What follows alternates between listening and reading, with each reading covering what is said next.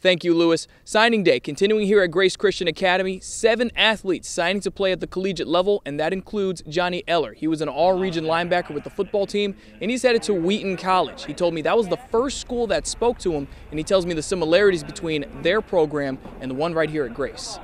Wheaton is a very Christian school, so I mean, that was one of the big things for me, so they can like they can invest in me spiritually and academically. It's very prestigious academically, and that was those were two of the biggest factors. But then again, they're uh, they have a winning tradition up there. They are very good in Division three athletics, and they win a lot. They went uh, undefeated in the regular season last year. I mean, they they win a lot of football games, and that really appealed to me.